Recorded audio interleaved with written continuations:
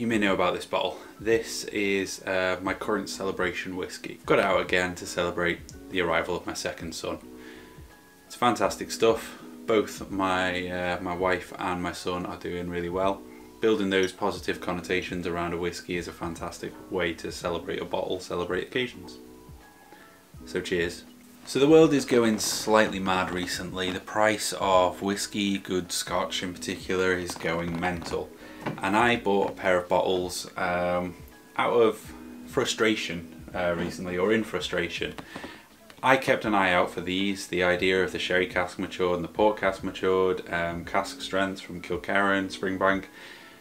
They really appealed to me um, and from what I tried before of this similar style of whiskey, I wanted one of each and I kept a close eye on retailers, on Facebook groups, you name it. Didn't manage to pick them up at retail, so I took to auction sites. And in my frustration, I paid a reasonable markup, a frustrating markup plus fees over retail. I don't currently regret it, and I think when I actually taste them, I'm not going to regret it either. But this kind of artificial inflation that we're bringing on ourselves got me thinking where is the value? What whiskies are available at the minute or distilleries are knocking about that are bringing us good product at a sensible price point that warrants the product that you actually receive, the whiskey and the enjoyment that you get out of that whiskey. So I thought I'd put together a little list of the whiskies that I think are worth talking about, worth seeking out and at a sensible price point at the moment. So I'd best get these guys out of the way. So the first whiskey producer that came to mind is probably not going to surprise anyone, Distell. Distell as a group have um, a, quite a nice policy on their whiskey presentation, natural colour, 46.3%, non-chill filtration, and they own three distilleries in Scotland, um, which bring a breadth of different styles of whiskey. Um, the first that I'm going to talk about is Deanston, which just do unpeated. They are typically um, spirit driven, ex-bourbony style of whiskies. They do a lot of interesting cask finishes, but their core range is primarily on the ex-bourbon and letting the spirit shine, a nice waxy spirit. So they do a 12 year old and a virgin oak, which are very easy to get your hands on. Both of them are about the same price point, around the 30 pound mark. I prefer the 12 year old. The Virgin Oak is on the sweeter, more puddingy side of things. This is slightly more complex, slightly more refined, the 12 year old. And they have an 18 year old. This 18 year old is um, remarkably good value for money. I picked this bottle up for £57. Um, for an 18 year old that is incredible. There's you know other distilleries, hell even one of the other Distell distilleries is 120 pound per bottle. So £57 for an 18 year old whiskey is really good going. And it's not just because the stuff doesn't stack up, this is a really good whiskey. Next one is Bunnahabhain, another Distell distillery. This is in contrast to the Deanston, it's kind of got a lot more of the cask influence coming through and defining the whiskey. Bunnahabhain is still a very nice spirit. It's on the fruitier side of things. Um, some of that coastal tone coming through from Islay and being on the coast. But um, the Bunnahabhain, most of their expressions are um, heavily cask influenced. Like this Stiùireadair, for example, um, it's young, bold, brash with a lot of sherry influence. That one sets me back about £26 a bottle. Can find that in supermarkets near me fairly easily. The 12 year old, if you haven't tried it, it's, it's absolutely one to add to your list of things to buy. This is a lovely, refined, um, magical whiskey. A lot of people start their journey with this one because it's where they kind of latch on to the fact that there's something special about scotch or about whiskey. This one about £35, 30 if you're lucky I think. Next one is Ledaig. Now Ledaig is the peated version of the Tobermory Spirit, Tobermory being a distillery over on the Isle of Mull. The Tobermory Spirit is again, it's a nice integrity whiskey, um, but the Spirit has a bit more boldness, a bit brash. It's got nice uh, coastal undertones.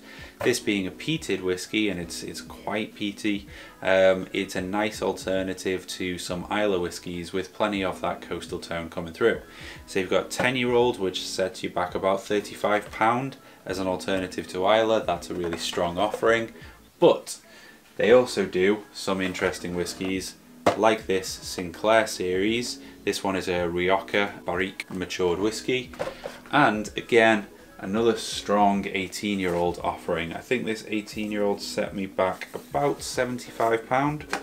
Really looking forward to. I've never actually tried this one, but I have tried other Ledaig, and I think this is going to be a really nice uh, expression, really nice continuation. Now, whilst we're talking island distilleries, it's worth mentioning Arran or the Lochranza distillery. Arran is a brand um, which is really flourishing at the minute. They're bringing a lot of good whiskey to market. The 10 year old I probably don't need to praise any more than it already has been recently.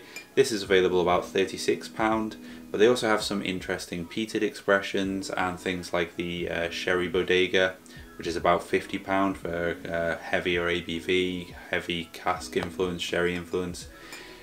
All quality whiskey, made well and made to be enjoyed.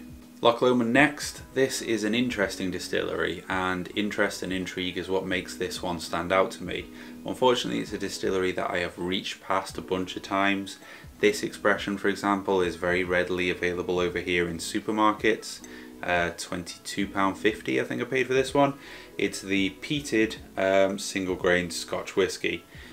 It's only called a single grain because of the use of a Coffey still. Loch Lomond have some weird and interesting equipment available to them and that means that not everything can be labelled single malt.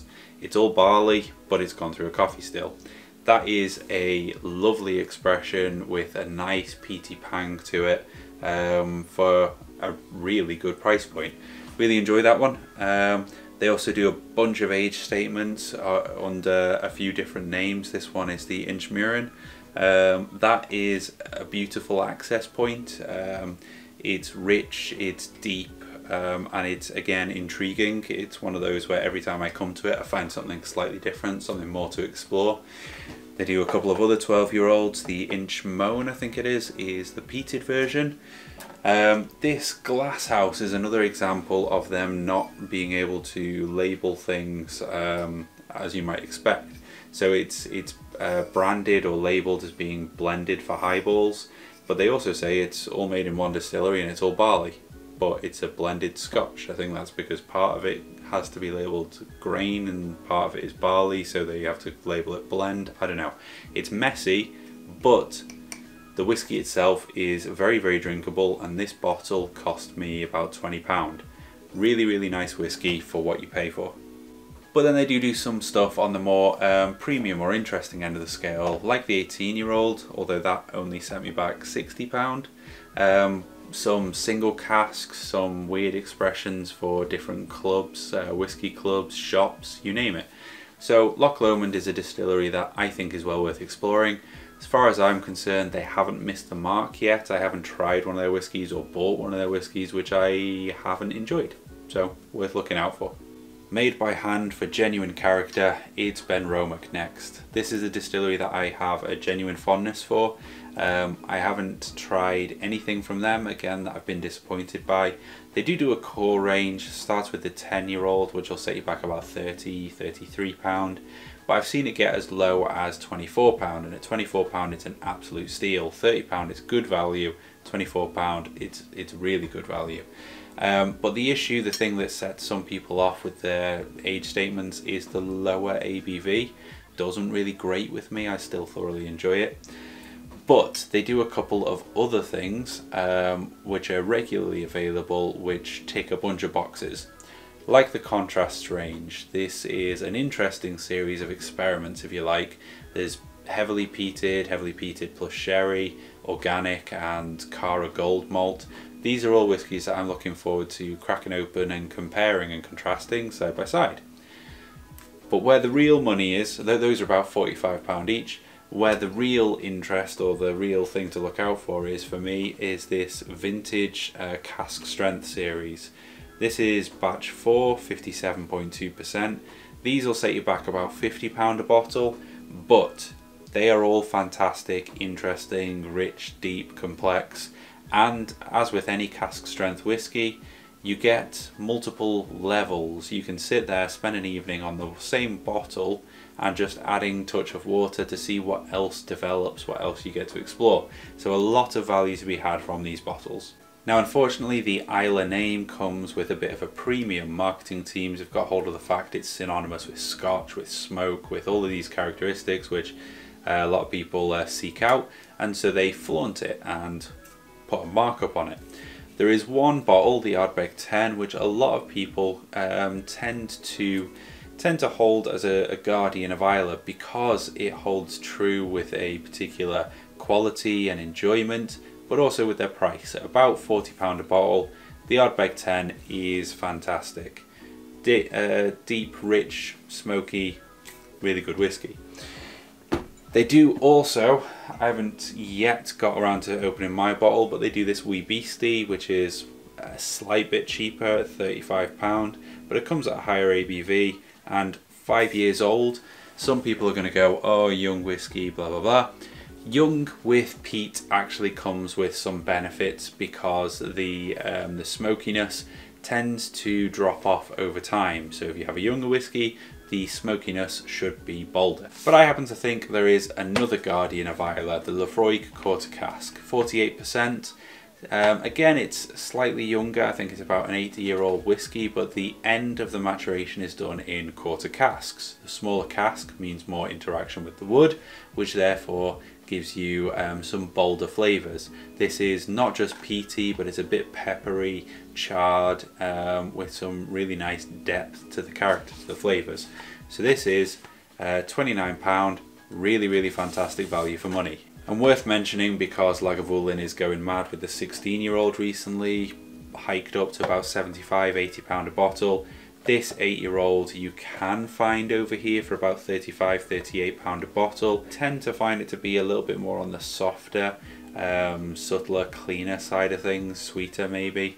This is still a good representation of Lagavulin, but it's not quite got the magic of the 16 year old. Probably one of my best tips is to look outside of the norm, look at the independent bottlers and look at the whiskey retailers who commission their own uh, bottlings.